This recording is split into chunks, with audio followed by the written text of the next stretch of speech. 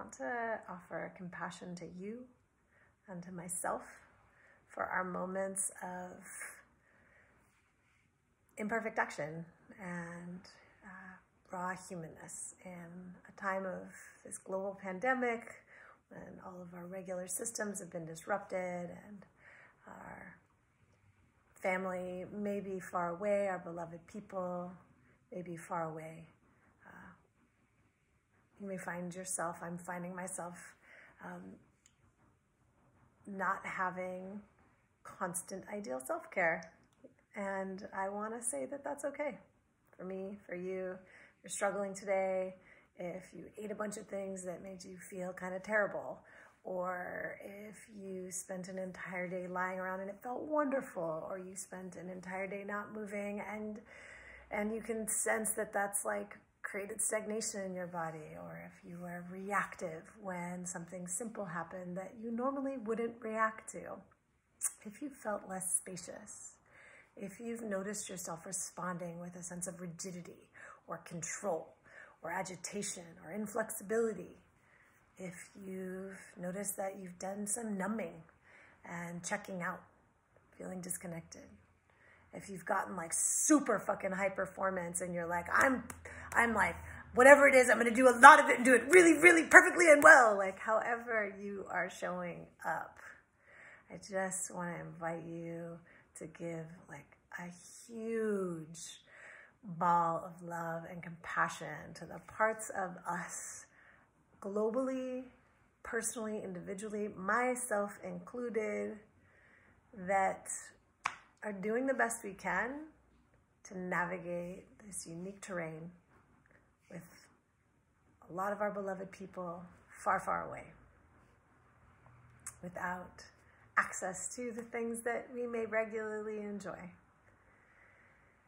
And there's room for you to be revelrous and shiny and inspiring and empowered and supportive and, and and stepping up and helping out your neighbor and there's room for you to like spend eight hours staring at a television and for you to freak out and snap at someone unexpectedly or snap at yourself uh, we can give each other do-overs.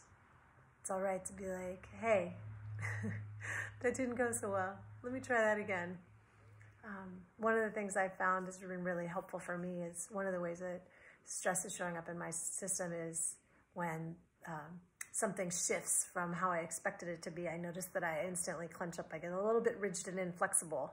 And so when that happens in its relationship with someone else, I will pause and take a breath and then send them a text or call them or get on Zoom and just say, hey, let's let's talk about this in real time. I'm noticing that I'm feeling a little bit rigid and I wanted to co-regulate with you and I wanted to speak to you so that I can get creative with you because I'm just, I can tell I'm a little agitated. And so if that's you right now, make room and lots of um, care and offer lots of compassion and tenderness to your dysregulated parts. It happens. You're human. This shit's hard. And maybe for you, it's not hard. And if it's not hard, oh, hallelujah, that's awesome.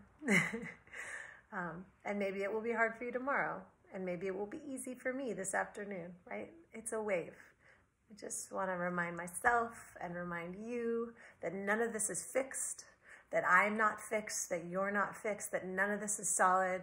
I'm a process unfolding, as are you, and so is this pandemic and how we respond to it is going to shift and move and what's available to us at any given moment, the capacity that we have, our ability to tap into our inner resources or external resources, that's going to shift and change moment to moment.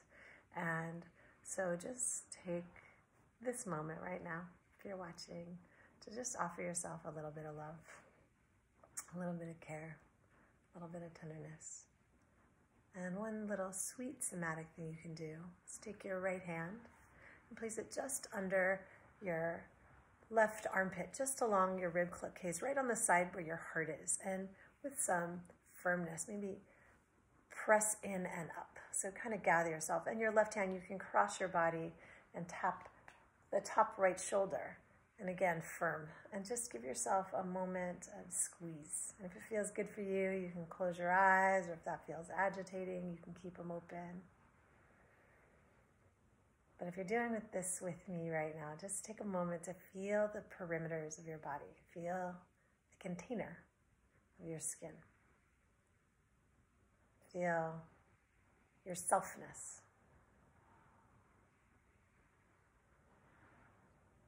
Notice the sensations that are present.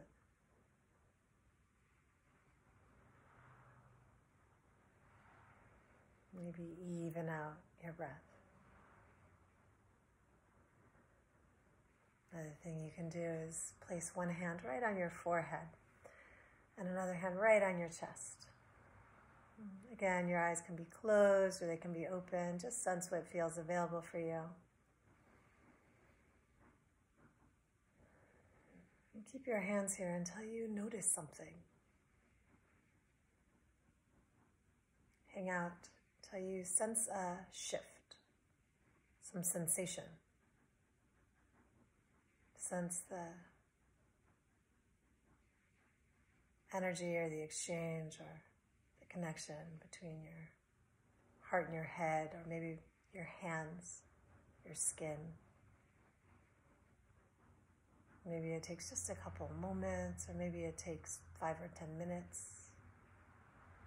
But wait until you feel something, until you notice a sensation. When you have that, take your top hand and move it down to your belly. The hand on your heart can remain on your heart. And again, notice what you notice.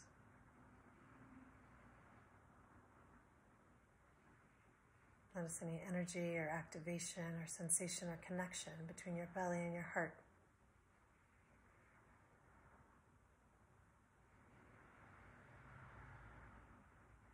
It's okay for you to do less. It's okay for you to be imperfect. It's okay for you to be under resourced sometimes. It's okay for you to not have a perfectly disciplined self care regimen. It's okay for you to start over at any given moment. It's okay to say oops and ouch. Give room for yourself, give room for each other. I love you very much.